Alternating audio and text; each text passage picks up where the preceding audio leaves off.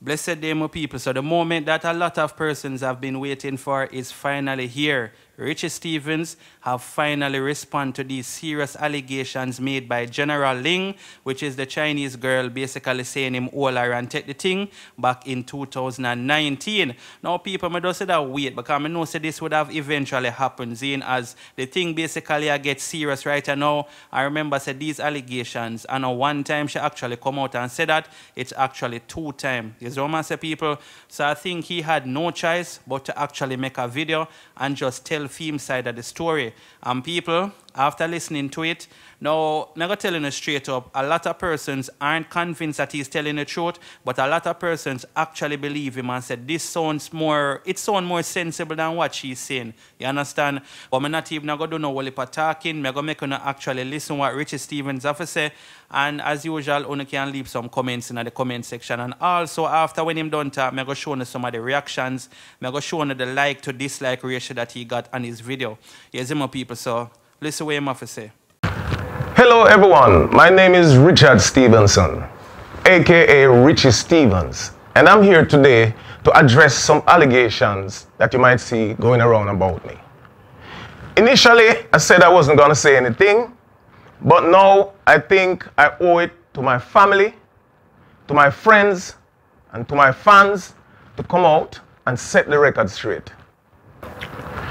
Miss Elaine Lim came out on social media and made some allegations against me. Some of what she said is true. But I am here to tell you what is true. One, she was on tour with me in Australia in 2019. Two, she made a formal report to the police against me. Three, she did a rape kit. But what she did not tell you a thorough investigation was done by the Australian police. I was detained. They took a statement from me, a statement from her, a statement from other people, and there were cameras in the vicinity. While I was detained, I called my attorney, Mr. Christopher Townsend, who advised me on what to do.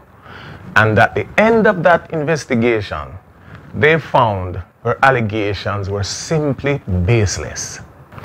You know what is true? I'm really sorry for her to know that she would go that far to try and get some recognition. We're living in a time where people are doing certain things. We see it every day. Some people believe that likes are far more important than the truth. And we're here today to bring the truth out. Check this out. She claimed that I came back to Jamaica and run on to the media and give them fabricated stories. I have not done not even one interview. I have not posted a video about the incident. I didn't do nothing like that. The only thing happened is my attorney, Mr. Christopher Townsend, wrote a letter that I posted on my IG. That's all I did. Now this is in contrast to what she has done.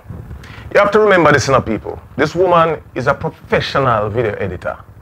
And if you take a keen look at her video, you see the sheet behind her, you see she talk in a certain type of way. This is nothing but a stage performance, a whole stage production. No, you don't need to stage the truth. All right, people, let's take a look at something where she said. She said in her country, I would be guilty until proven innocent, which is not even true. But that tells you how warped her mind is. She also took the time to invite the media to link her personally. Clearly, she had a boss. Now, ladies and gentlemen, she even trying to make it seem as if she didn't get justice in Australia.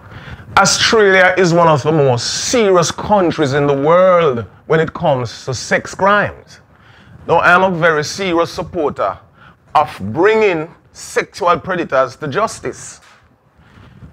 But her allegations are simply not true. There are people with serious issues as a result of sex crimes. So when people like her come with all these lies, it does not help the movement. I am Richard Stephens, and that's my piece.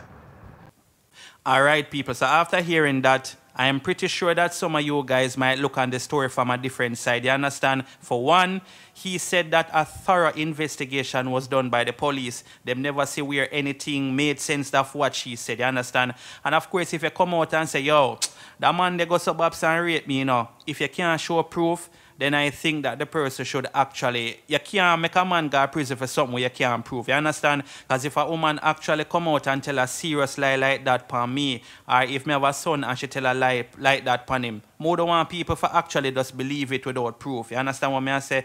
Even though we know that this alleged incident is like long time ago from 2019, um, and we in our 2021, so almost 12 years it happens in, because I think she say in October it happened, something like that, or alleged that is in October it happened. I have to make sure I choose my words correctly, because as I say, people, this is some serious allegations, you understand? Um, yeah, Foota I did even say it. If she can't prove certain things, then it don't make sense. You understand? Um, more than one have a daughter, and she come out and tell a lie like that upon a man. You understand what I say? But at the same time, we don't really want doubt people who go through things like this because these doubts actually make some people not want to talk out, especially if it is true and it has to do with like a high profile person. You know, a lot of persons tend to believe the high profile person because they're more famous and people will say, boy, a little hype shall look, a little clout shall look and thing. Not saying that's the case with this situation, you know, people. But anyway, um, I'm going to get to some of the comments them now so you can see what's going on. And basically when you look on the like to dislike ratio, it has 40 thumbs down and 86 thumbs up. And to be honest, people, you can tell say a lot of these people who thumbs down the video, them already make up their mind and them don't believe everything that she's saying. You understand? You know them people who will just say, yo, may I go up on the video if you dislike it. Because when I listen to him, you know, we must say actually make sense. The police them don't investigate it and thing. But one person left a comment saying, Glad to know we are hearing another side of this story. I have known Richard for over 20 years, and I don't know him to be the person that the accuser mentioned about this outstanding Jamaican citizen. He is a straight up family who has an impeccable record of doing great humanitarian things for his community and those less fortunate. I do understand that RAPE does happen from time to time, but the fact that this allegation was brought to the police in Australia and dismissed makes one wonder what was the motive. Yes, Roman say people, um, a next person say, so she just a mad woman then to come out and say that just for recognition, she would have gotten recognized just by saying she toured with you, bro. Boy, is a way. That's all I can say. Is a way. Me personally believe her. So that is a supporter. An next person said, Boy, Richie, see what them do Bill Cosby. Them try it with Kobe Bryant. Did anybody ever hear of the Central Park jogger and the five black boys? I don't really know where talking about this. So an next person said, I think both parties need to let their attorneys deal with this through the justice system and stay out of social media because this can get sticky an person say, I believe you, Mr. Richie, even though you have a weakness for sweetness with some laughing emoji, she was trying to frame you, my brother. Next person said, I believe the artist and it kind of puts her part of the story into better context. Still, there is something missing.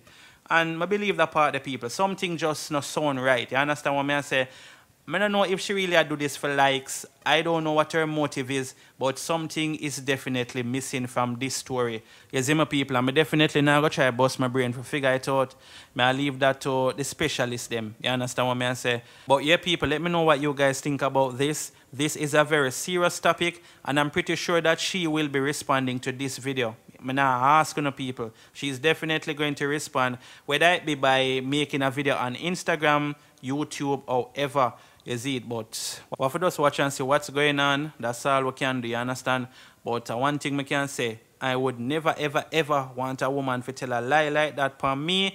That I'm just saying, if it's a lie, and also what's in the dark must come to light. So if she's actually speaking the truth, then it eventually will come out. You understand?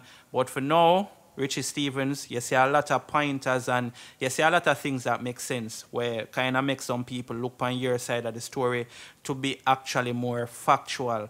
But anyway, people, let me know what you guys think as I say. Bless upon yourself. Don't forget to like, share, subscribe, and turn the notification bell on. Bless upon yourself and keep safe. I'm out.